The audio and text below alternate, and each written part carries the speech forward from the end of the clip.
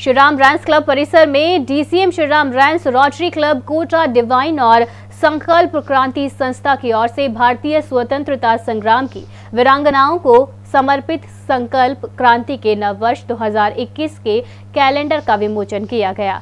आयोजन की अति विशिष्ट अतिथि वीरांगना सीमा देवी, कमलेश देवी, मधुबाला मौजूद रहे। श्रीराम रैंस के सीईओ वी के जेटली मुख्य अतिथि और रोटरी क्लब, कोटा डिवाइन के अध्यक्ष कुमकुम जेटली विशिष्ट अतिथि रही। आयोजन में कपिल टुटेजा ममता खंडेलवाल, वंदना सिंह, संकल्प क्रांति संस्था के संयोजक मैनेजर विक्रम सिंह ने वीरांगनाओं का सम्मान कर कैलेंडर का विमोचन किया। कुमकुम जेटली ने वीरांगना को समर्पित कैलेंडर को सराहा और आत्मनिर्भर, शिक्षित नारी मुहिम से जोड़ने का संदेश दिया।